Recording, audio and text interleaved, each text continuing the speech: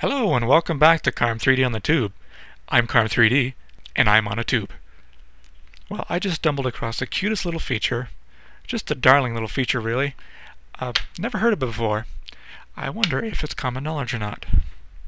Maybe I really stumbled across something unique here. Something maybe only the developers know. Or maybe something in the, the manual that nobody bothered to look up.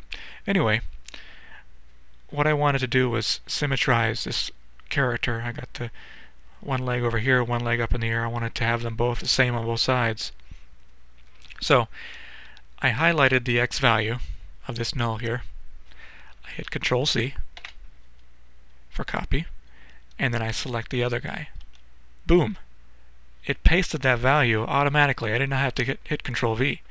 It just pasted in there automatically. Now all I have to do is put a negative sign in front of the x, flip it over on the other side, and there it is. Copy the Y, Control C, click.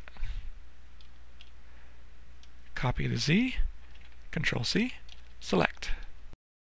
Select. It's easy as that. And of course, uh, before I do anything else, I want to store the keyframe there. Now I will hit Y for rotation options. I'm going to copy the heading. Boom. Once again, negative. We'll flip that around. Copy, select. Select, copy, select.